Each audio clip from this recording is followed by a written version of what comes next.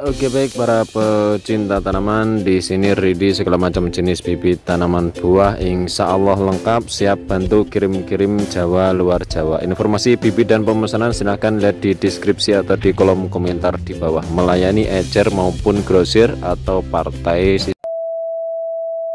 Oke baik para pecinta tanaman. Kesempatan siang hari ini kita review dan mungkin panen tipis-tipis jambu madu. Ini jambu madu saya yang yang ada di atas pondasi. Yang di belakang juga ada masih banyak. Yang di atas pondasi ini sudah beberapa sudah masak dan sudah dipanen berkali-kali dan ada yang masih berbunga lagi ada yang pentil ada yang kecil ada yang sudah besar juga. Jadi seperti ini ini dipanen dan berbunga lagi. Ini merupakan jambu madu jambu air jenis jambu air yang paling direkomendasikan untuk pemula yang pertama jambu madu. Kalau menurut saya gampang sekali perawatannya gampang berbuah. Di pot juga bisa berbuah. Oke kali ini kita review jambu madu yang sudah masak itu seperti ini. Jadi untuk eh, permukaan jambunya kalau sudah masak itu agak berawan dan kusam nggak ngejreng warnanya nggak ngejreng seperti ini. Kelihatan nggak ini? Nah itu jadi ada bintik-bintik kayak putih-putih berawan gitu ya. Nah kalau tidak kelihatan berarti kameranya yang kurang bagus. Dan di sini kita lihat ujungnya. Ini uh, bulu hidungnya itu coklat. Ini menandakan sudah tua sudah masak sudah bisa dipetik ya. Kita lihat yang di sini itu ini yang satu dompol isi 4 itu untuk ukuran buahnya. Untuk ukuran ukuran buahnya itu uh, terbilang sempurna atau seimbang ya jadi maksimal 4 ya satu dompol. Atau kita kondisikan kita lihat dulu batangnya. Cabangnya kalau kecil diisi 4 sekiranya itu nanti kalau sudah besar patah ya jangan dipaksakan. Isi dua saja. Jadi maksimal 4 3 atau 2 yang di sini sudah dipanen semua hampir semua dipanen. Ini yang sisa-sisa dan ini keunggulan jambu madu berbunga lagi. Ya tapi ya di ditunjang dengan perawatannya juga. Kalau ini kebetulan uh, saya kurang untuk perawatan kurang sekali ya. Tapi buahnya bisa besar-besar dan buahnya banyak. Karena agak sibuk ya akhir-akhir ini. Nah ini lagi.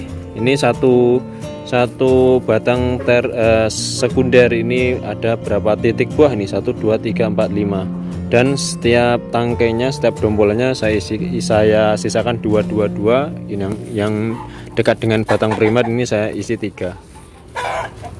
Lumayan ini saya isi dua dan cukup lumayan. Nah, di atas dan keunggulannya seperti ini jambu madu berbunga lagi setelah panen. Ini terus-terusan ya lumayan ya. Ini untuk skala kebun ya cocok karena per kilonya itu lumayan ya lumayan. Kalau di sini antara 20 sampai 30 ribu tergantung kualitasnya. Ini banyak sekali ayam ya. Di sini nah kita lihat nah ini satu dombol isi 4 ukurannya seperti ini dan ini sudah masak. Coba kita nanti kita panen. Untuk warna buahnya di musim hujan kurang begitu bagus menurut saya. Kalau menurut umumnya orang-orang dengan rasanya yang manis ya apa ya kurup lah sumbut kalau bahasanya sini. Ya bagus itu. Tapi kalau menurut saya masih kurang karena musim hujan. Untuk rasanya kemanis ma, saya rasakan tadi manis tapi tidak semanis musim kemarau. Itu wajar. Banyak jenis buah yang seperti itu. Ya oke kita coba panen tipis-tipis dan kita buka dalamnya seperti apa. Oke kita panen ya. Ini sudah masak. Satu dompol. Ada yang kurang bagus ya. Kita cari yang bagus saja ini enggak ada yang bantu jadi uh, sebentar ya. Duh, duh malah jatuh. Malah jatuh. Ya ini satu. Satu. Ini saya taruh sini wadahnya. Nah jatuh langsung disikat. Ayam. Ini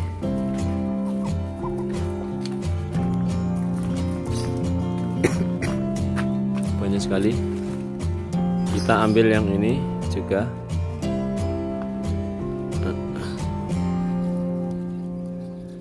Bentar.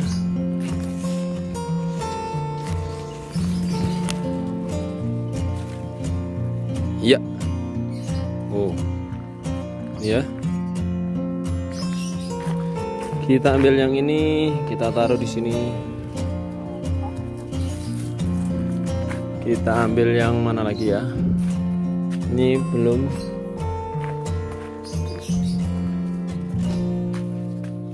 Di sini dicucuk pitik.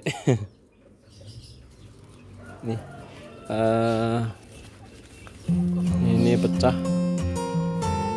Saya skip dulu aja ya saya panen nanti. Saya, sendiri soalnya saya sendiri sambil manen sambil sambil uh, ngerekam memvideokan. Tadi sampai jatuh oke sebentar ya. Saya panen dulu. Ya oke. Sudah kita panen ya seperti ini. Jadi lumayan untuk walaupun musim hujan buahnya lumayan bagus-bagus. Ini segini ini masuk kualitas uh, B ini. Kalau yang ini masuk kualitas BC ya mungkin. Kalau yang ini masuk kualitas A ini biasanya uh, eh, 7 buah sudah satu kilo Oke kita icip-icip dulu ya. Kita rasakan bagaimana dalamnya seperti apa dan kita rasakan. Ya biasanya ini uh, dagingnya tebal. Untuk musim hujan ini kurang tahu ya. Ada yang tebal ada yang biasa-biasa aja kemarin saya rasakan. Kalau yang ini coba kita buka. Iya oke. Okay. oke okay, saya pakai tripod oke ya coba kita buka dalamnya seperti apa. Biasanya tebal dan non biji biasanya. Nggak tahu kalau musim hujan ini seperti apa. Tapi yang sudah-sudah itu ya tebal banyak yang non biji juga. Kalau yang ini kita lihat seperti apa. Ini ya.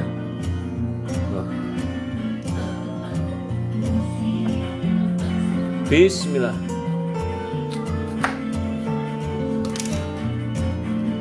Ya oke. Oh yang ini ada bijinya ya. Yang ini ada bijinya. Dan lumayan tebal. Nah ini ya. Kita iris lagi. Hmm. Ini uh, sudah tua tapi belum terlalu masak. Masih agak hijau. Kita buka lagi. Aduh kita buka lagi satunya.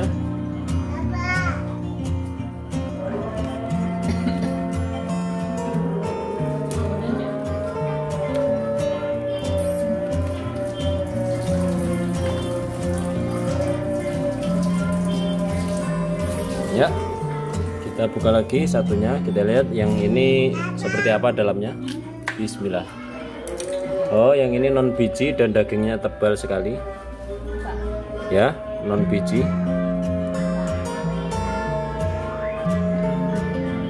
Wow. Uh, kelihatannya manis.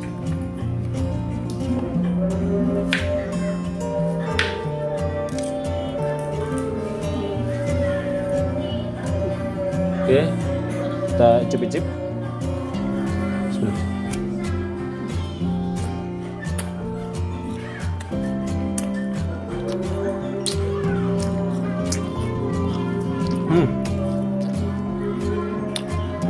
Manisnya masuk ya, manis. Nggak ada asamnya. Sepetnya juga sudah nggak ada. Manisnya masuk, walaupun nggak manis banget tapi manis. Manis saja karena ini musim hujan e, rasa yang seperti ini itu sudah bagus sekali nah airnya lumayan agak banyak kalau musim kemarau malah lebih garing lagi enak ya terus ini enak nah kali ya hmm. bentar sudah waktunya sholat. Oke baik ya. Untuk sementara seperti itu. Enak sekali ya. Hmm. nah. Masuk masuk. Siap siap. Oke. Oke sudah sudah ikomah saya persiapan ke masjid dulu. Oke baik. Terima kasih jangan lupa subscribe like share channel kami. Ikuti terus informasi tanaman-tanaman buah